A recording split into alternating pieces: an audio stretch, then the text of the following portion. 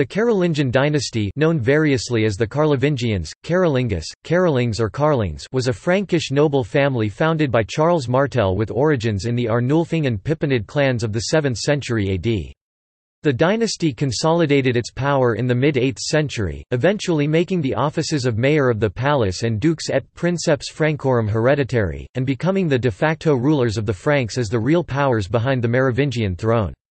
In 751 the Merovingian dynasty which had ruled the Germanic Franks was overthrown with the consent of the papacy and the aristocracy, and a Carolingian Pepin the Short was crowned king of the Franks.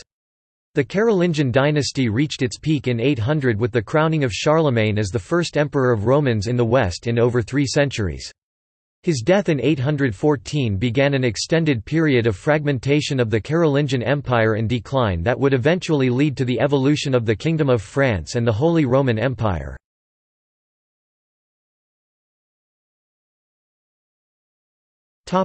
Name The Carolingian dynasty takes its name from Carolus, the Latinized name of Charles Martel, de facto ruler of Francia from 718 until his death.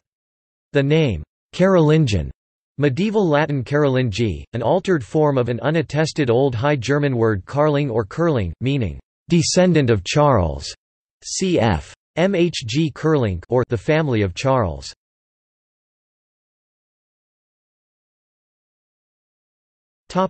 History Traditional historiography has seen the Carolingian assumption of the Frank kingship as the product of a long rise to power, punctuated even by a premature attempt to seize the throne through Childebert the Adopted. This picture, however, is not commonly accepted today. Rather, the coronation of 751 is seen typically as a product of the aspirations of one man, Pepin, whose father, dynastic founder Charles Martel, had been a Frankish high court official military commander, and of the Roman Catholic Church, which was always looking for powerful secular protectors and for the extension of its spiritual and temporal influence. The greatest Carolingian monarch was Charlemagne, Pepin's son. Charlemagne was crowned emperor by Pope Leo III at Rome in 800. His empire, ostensibly a continuation of the Western Roman Empire, is referred to historiographically as the Carolingian Empire. The Carolingian rulers did not give up the traditional Frankish and Merovingian practice of dividing inheritances among heirs, though the concept of the indivisibility of the empire was also accepted. The Carolingians had the practice of making their sons minor kings in the various regions regna of the empire, which they would inherit on the death of their father, which Charlemagne and his son Louis the Pious both did for their sons. Following the death of the Emperor Louis the Pious in 840, his surviving adult sons, Lothair I and Louis the German, along with their adolescent brother Charles the Bald, fought a three-year civil war ending only in the Treaty of Verdun in 843, which divided the empire into three regna while according imperial status and a nominal lordship to Lothair who at 48, was the eldest. The Carolingians differed markedly from the Merovingians in that they disallowed inheritance to illegitimate offspring, possibly in an effort to prevent infighting among heirs and assure a limit to the division of the realm. In the late 9th century, however, the lack of suitable adults among the Carolingians necessitated the rise of Arnulf of Carinthia as the king of East Francia, a bastard child of a legitimate Carolingian king, Carloman of Bavaria, himself a son of the first king of the eastern division of the Frankish kingdom Louis the German.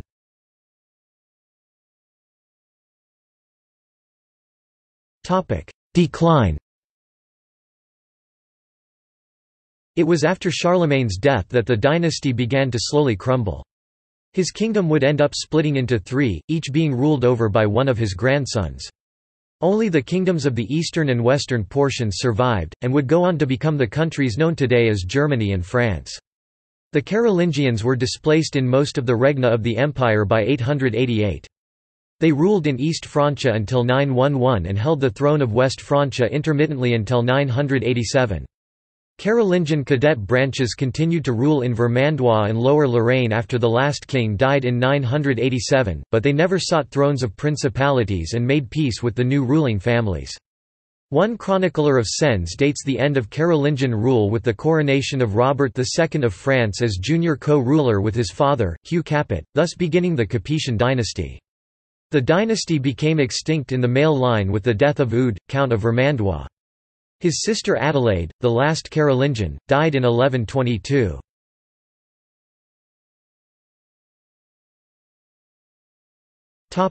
Branches The Carolingian dynasty has five distinct branches the Lombard branch, or Vermandois branch, or Herbertians, descended from Pepin of Italy, son of Charlemagne. Though he did not outlive his father, his son Bernard was allowed to retain Italy. Bernard rebelled against his uncle Louis the Pious, and lost both his kingdom and his life. Deprived of the royal title, the members of this branch settled in France, and became counts of Vermandois, Valois, Amiens and Troyes. The counts of Vermandois perpetuated the Carolingian line until the 12th century. The Counts of Chiny and the Lords of Mellier, Neufchâteau and Falkenstein are branches of the Herbertians. With the descendants of the Counts of Chiny, there would have been Herbertian Carolingians to the early 14th century.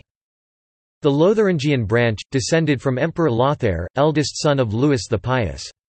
At his death Middle Francia was divided equally between his three surviving sons, into Italy, Lotharingia and Lower Burgundy. The sons of Emperor Lothair did not have sons of their own, so Middle Francia was divided between the western and eastern branches of the family in 875. The Aquitanian branch, descended from Pepin of Aquitaine, son of Louis the Pious. Since he did not outlive his father, his sons were deprived of Aquitaine in favour of his younger brother Charles the Bald. Pepin's sons died childless.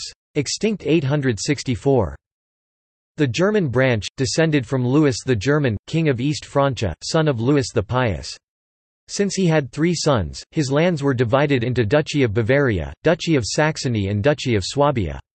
His youngest son Charles the Fat briefly reunited both East and West Francia—the entirety of the Carolingian Empire—but it split again after his death, never to be reunited again.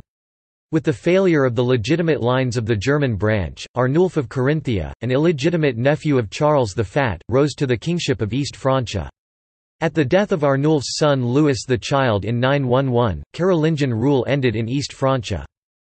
The French branch, descended from Charles the Bald, king of West Francia, son of Louis the Pious. The French branch ruled in West Francia, but their rule was interrupted by Charles the Fat of the German branch, two Robertians, and a Bossonid. Carolingian rule ended with the death of Louis V of France in 987. Charles, Duke of Lower Lorraine, the Carolingian heir, was ousted out of the succession by Hugh Capet, his sons died childless. Extinct c. 1012.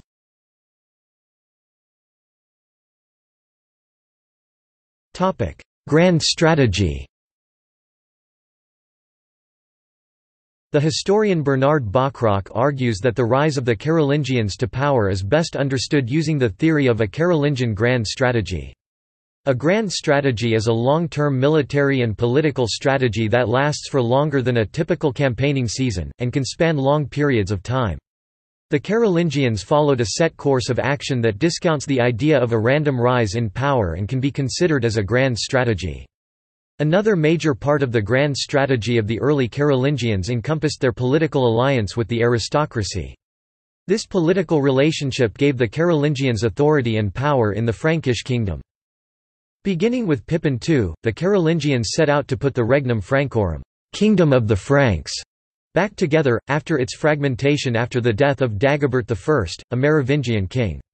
After an early failed attempt in ca 651 AD to usurp the throne from the Merovingians, the early Carolingians began to slowly gain power and influence as they consolidated military power as mayors of the palace. In order to do this, the Carolingians used a combination of late Roman military organization along with the incremental changes that occurred between the 5th and 8th centuries. Because of the defensive strategy the Romans had implemented during the late Empire, the population had become militarized and were thus available for military use. The existence of the remaining Roman infrastructure that could be used for military purposes, such as roads, strongholds and fortified cities meant that the reformed strategies of the late Romans would still be relevant. Civilian men who lived either in or near a walled city or strong point were required to learn how to fight and defend the areas in which they lived. These men were rarely used in the course of Carolingian grand strategy because they were used for defensive purposes, and the Carolingians were for the most part on the offensive most of the time. Another class of civilians were required to serve in the military which included going on campaigns. Depending on one's wealth, one would be required to render different sorts of service, and the richer the man was, the greater was his military obligation for service. For example, if rich, one might be required as a knight. Or one might be required to provide a number of fighting men. In addition to those who owed military service for the lands they had, there were also professional soldiers who fought for the Carolingians. If the holder of a certain amount of land was ineligible for military service women, old men, sickly men or cowards they would still owe military service. Instead of going themselves, they would hire a soldier to fight in their place. Institutions, such as monasteries or churches were also required to send soldiers to fight based on the wealth and the amount of lands they held. In fact, the use of ecclesiastical institutions for their resources for the military was a tradition that the Carolingians continued and greatly benefited from. It was highly unlikely that armies of many more than a hundred thousand effectives with their support systems could be supplied in the field in a single theatre of operation. Because of this, each landholder would not be required to mobilize all of his men each year for the campaigning season, but instead the Carolingians would decide which kinds of troops were needed from each landholder, and what they should bring with them. In some cases, sending men to fight could be substituted for different types of war machines. In order to send effective fighting men, many institutions would have well-trained soldiers that were skilled in fighting as heavily armored troops. These men would be trained, armored, and given the things they needed in order to fight as heavy troops at the expense of the household or institution for whom they fought. These armed retinues served almost as private armies, which were supported at the expense of the great magnates, and were of considerable importance to early Carolingian military organization and warfare. The Carolingians themselves supported their own military household and they were the most important corps of the standing army in the Regnum Francorum. It was by utilizing the organization of the military in an effective manner that contributed to the success of the Carolingians in their grand strategy. This strategy consisted of strictly adhering to the reconstruction of the Regnum Francorum under their authority. Bernard Bachrach gives three principles for Carolingian long-term strategy that spanned generations of Carolingian rulers. The first principle, was to move cautiously outward from the Carolingian base in Austrasia. Its second principle was to engage in a single region at a time until the conquest had been accomplished. The third principle was to avoid becoming involved beyond the frontiers of the Regnum Francorum or to do so when absolutely necessary and then not for the purpose of conquest.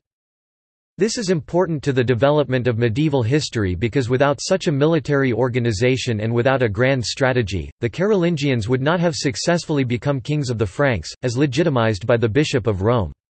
Furthermore, it was ultimately because of their efforts and infrastructure that Charlemagne was able to become such a powerful king and be crowned emperor of the Romans in 800 AD. Without the efforts of his predecessors, he would not have been as successful as he was and the revival of the Roman Empire in the West was likely to have not occurred.